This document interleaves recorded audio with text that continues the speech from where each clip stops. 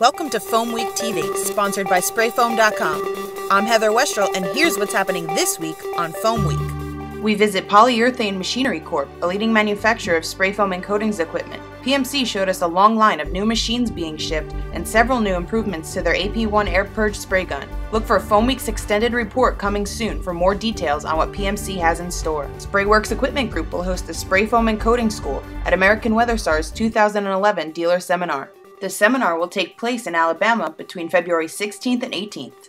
With no tuition fee, classes are filling up fast. Visit sprayfoam.com's events section for more program information and to register for this opportunity. Sprayfoam.com, in partnership with CMC, is offering a new marketing tool for foam roofing contractors. Get your very own foam roofing website, complete with content, top Google ranks, and more.